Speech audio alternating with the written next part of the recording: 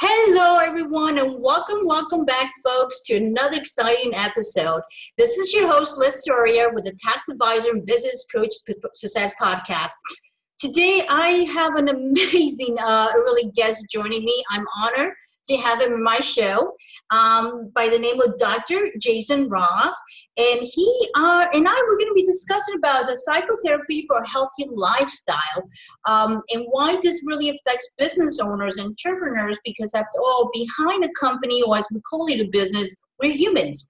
So if our minds don't function well, well, our business are not going to function well along with our relationships. So uh, no further ado, I'm going to introduce uh, uh, Dr. Jason Ross, or Jason as you like to be called. And can you give us a little bit more profound about your background and your expertise, please? And welcome, welcome to the show. Thank you for having me. Uh, so I'm a licensed psychotherapist in New York and Florida. I am actually the son of two psychoanalysts.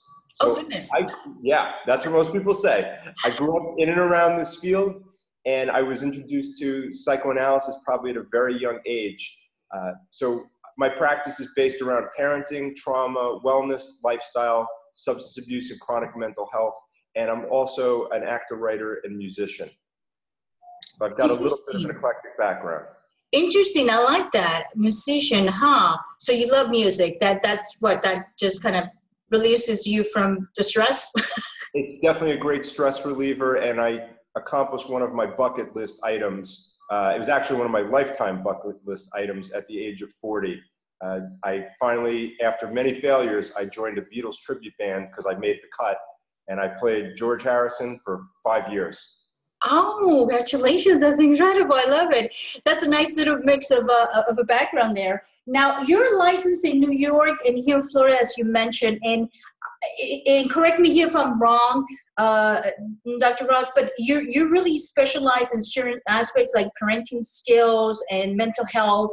And um, and I guess uh, uh, you know when we struggle with changes of our lifestyle, and this is part of what we're going to discuss today, right? How uh, psychotherapy can really help us live a healthier lifestyle, uh, because unfortunately, um, call it belief systems or the way we were brought up a lot of times that can create certain issues mentally for us that there are limitations so what kind of things you can share with us uh, from your perspective uh, as a doctor to, to understand what kind of things can we do?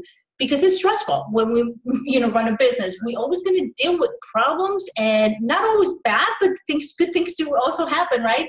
Uh, but normally it seems like the bad things have more weight than the good things. So what would you suggest out of your expertise the things that we can do to try and live a better life great question probably the ultimate question I think people have to keep in mind for wellness, as we define it, there's probably five areas that we really have to concentrate on uh, physical, emotional, social, spiritual, and intellectual development, and management of those areas. If you take a look at people who've, you know, quote, got it together, chances are in all those areas, they're either stellar or they're working at it regularly.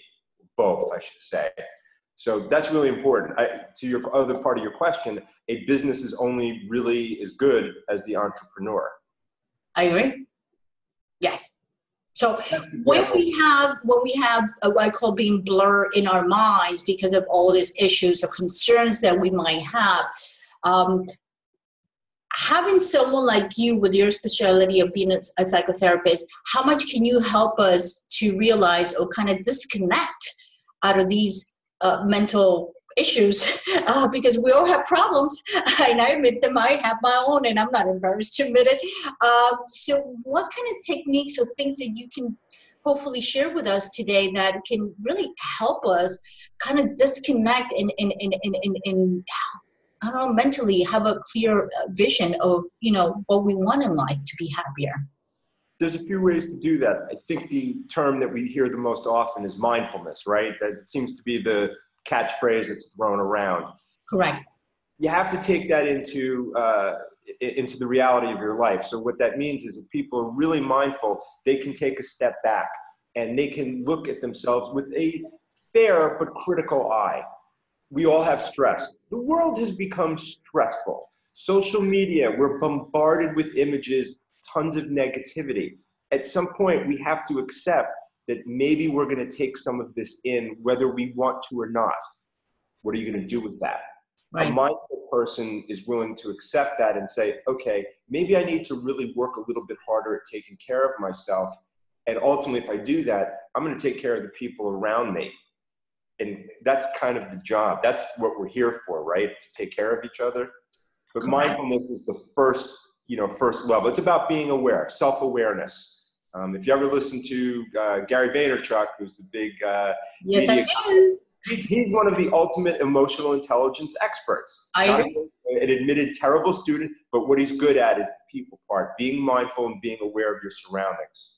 And look at another psychologist, Tony uh, Robbins, it's the same thing. He's just a very motivational kind of person.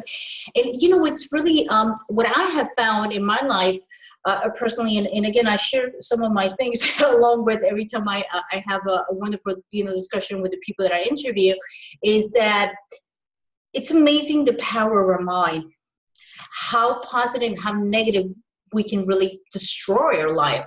So, with that said, what happens when we have these type of uh, I don't know, call it negative thoughts. I mean, is there any way, uh, from your perspective, coming to therapy like you and, and, being able to open up ourselves and expressing our thoughts and, and, and, and our feelings, uh, does that help really the, the, person to to be able to maybe cope and, and deal with the situation that they might be having? Absolutely. People don't understand i, I think we forget again not being mindful uh, which is understandable the brain's the largest organ if i'm correct.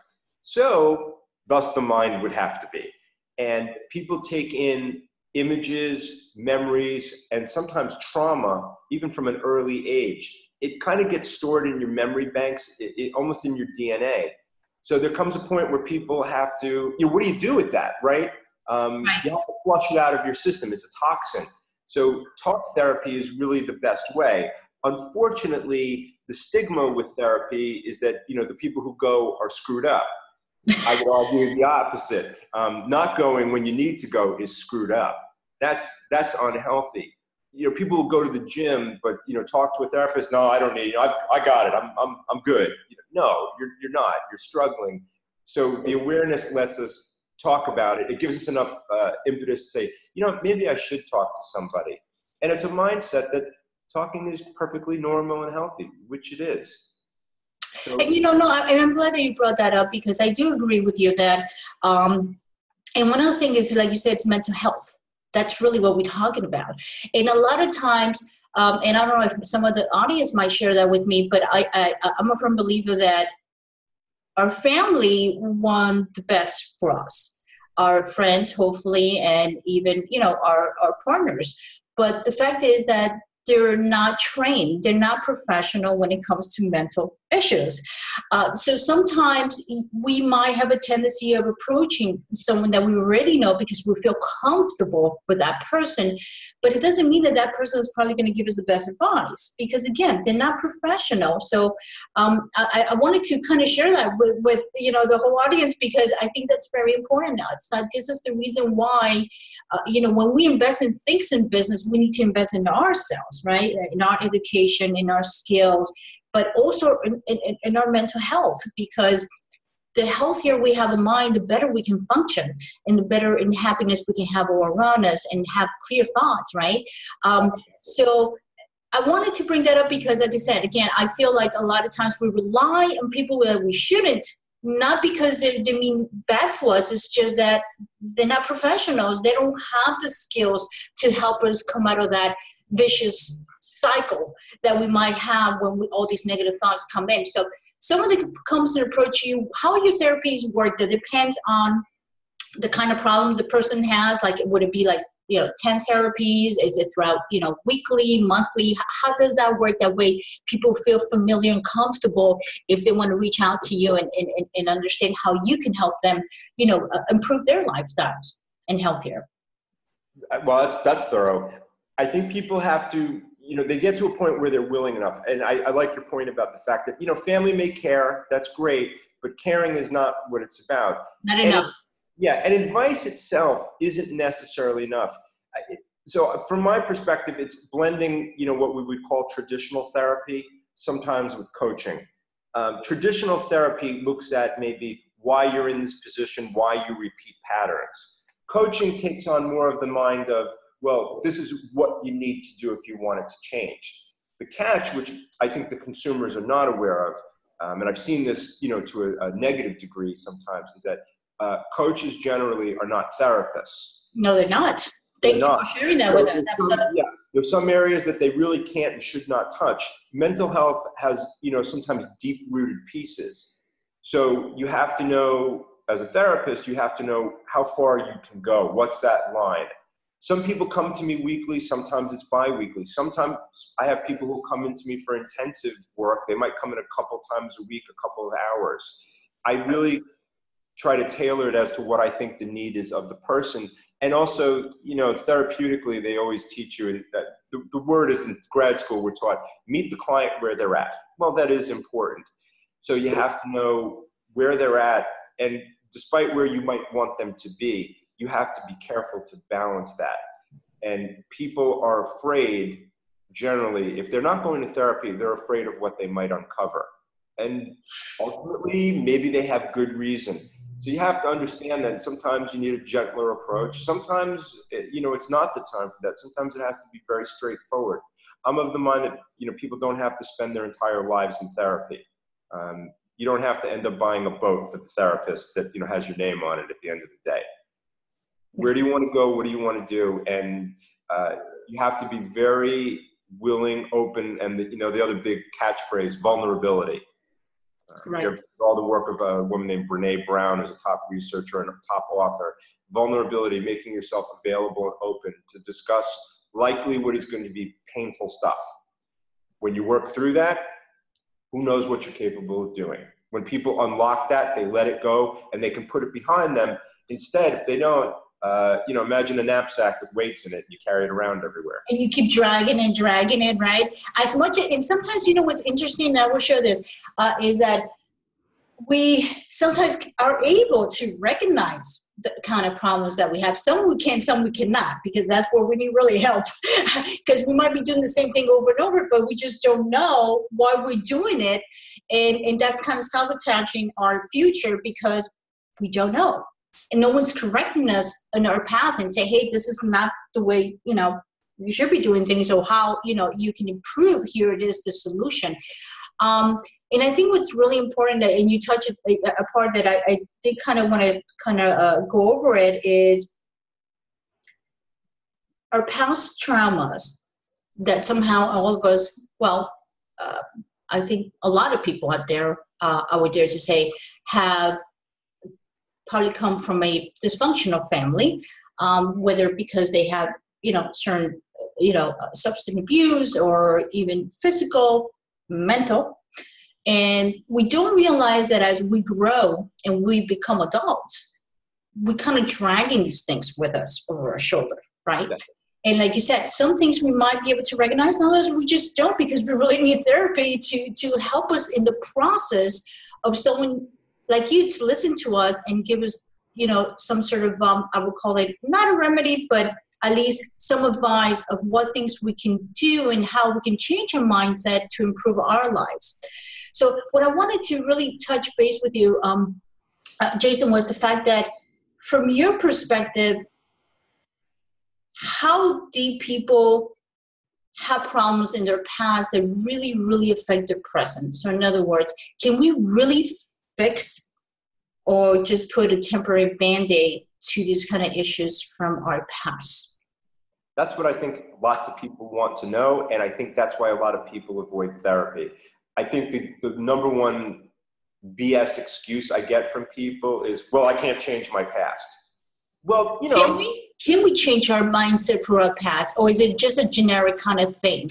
Because say i i, I kind of be going I, and, and obviously my background is, is in numbers and, and, taxes but i've always been a very curious person and i think again the well-being and, and how we live a life and i do work out too like i'm a firm believer working out and exercising and physically being strong but again, our mind has to be strong and our soul has to be strong. So I think on that trinity, that three connection, it's very important for a good lifestyle. But what would you say how when we touch those sections of our brain that maybe they're so embedded into our mind because these are beliefs can they truly be changed or is it just a genetic kind of thing that there's no remedy oh it can be, it can be changed i mean we do have to change perspective and, and therapy helps do that as well what what we learn as children very often is secret keeping and secrets over time tend to cause us more harm than good. So what we learn is potentially that you know you shouldn't talk about your problems. Families, depending on where we come from, our you know our you know ethnic background, religious background, right? We don't talk about that. We don't want to be seen by the other families and on the street.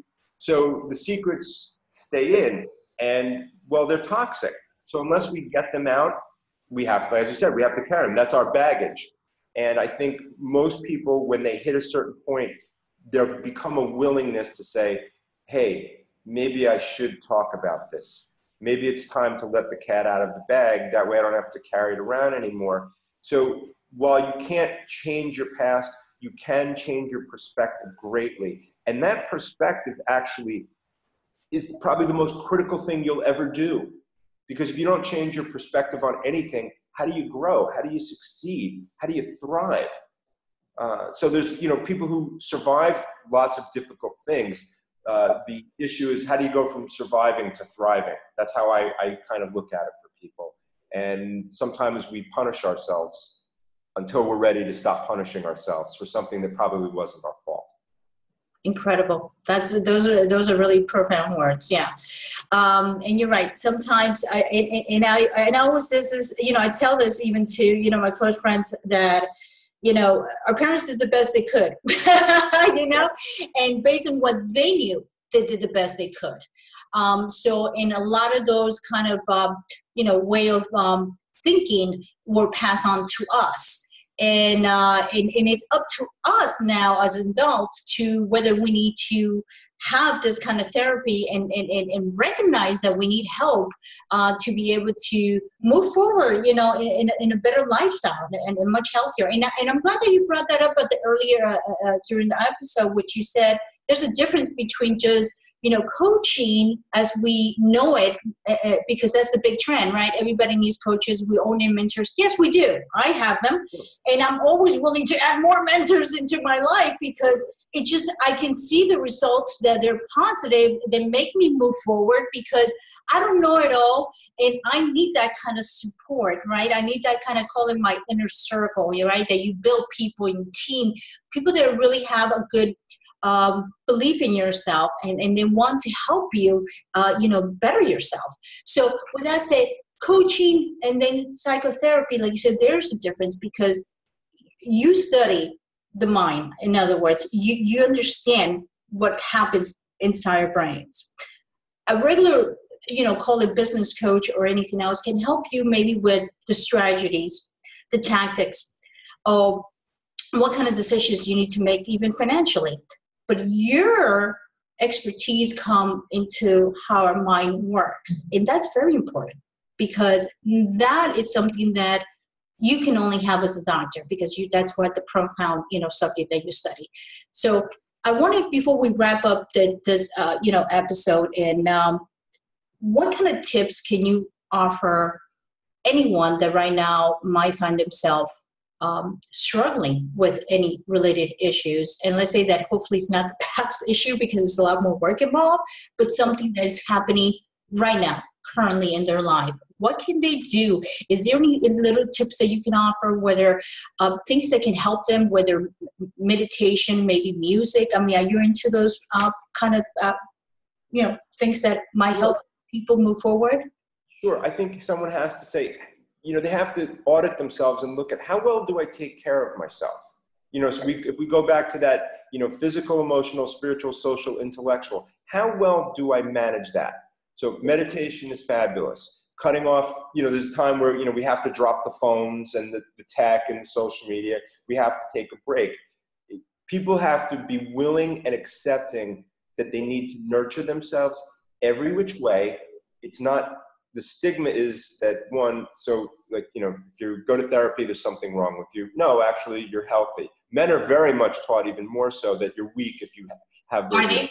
Really? That's that's that's absolutely that's how we you know uh, hell that's part of how we got to this whole Me Too thing. That's that's part of it. Men are taught certain patterns that are not appropriate. They're wrong. Um, and ironically, you see what the you see how that plays out later in life for them. Yes. I think we have to look inward and we have to be ultimately very vulnerable, vulnerable, and take a look and get the opinion of the people around us and see what they think.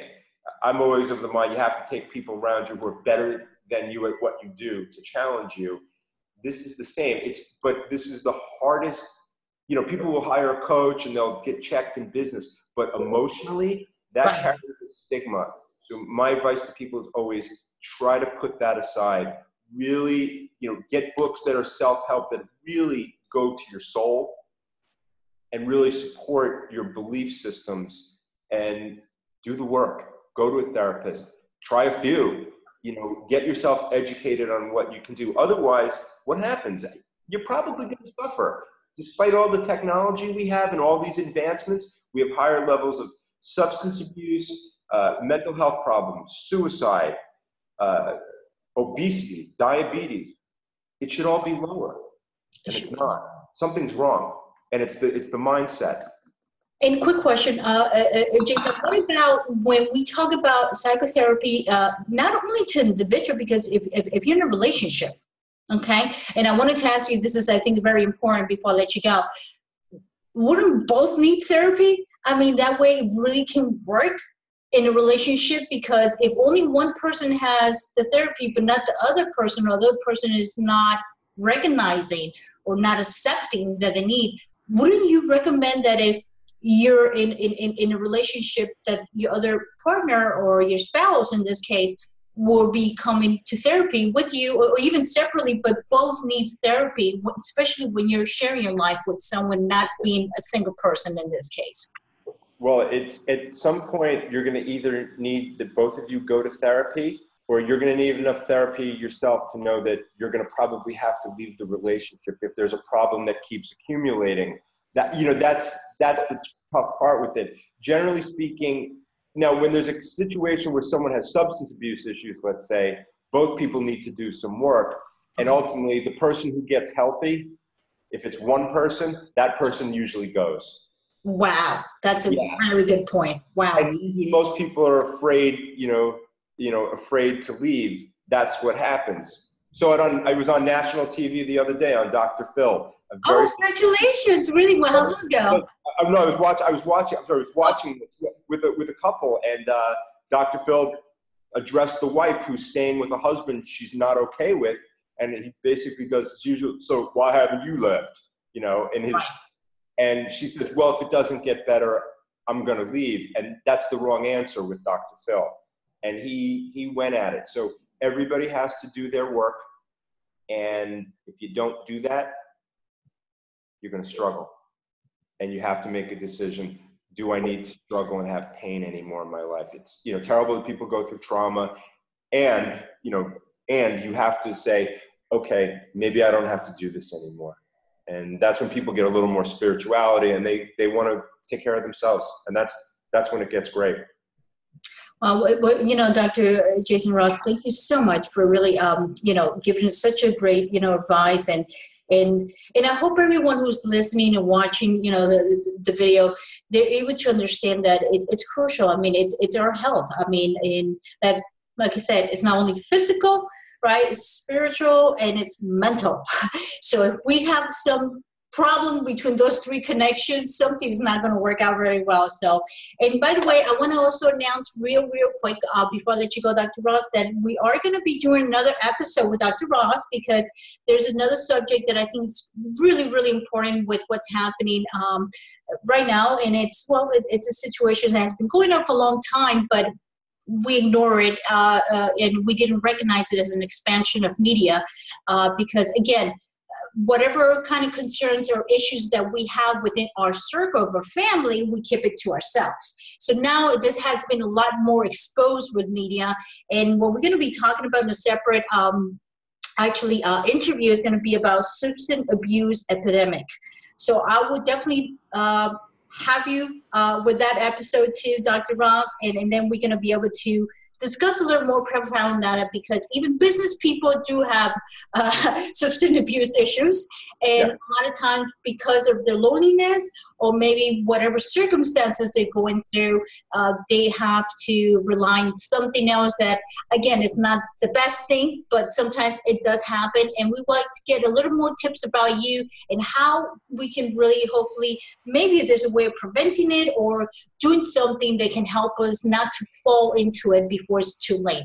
So dr ross and, and jason again uh, as you like to be called thank you so much.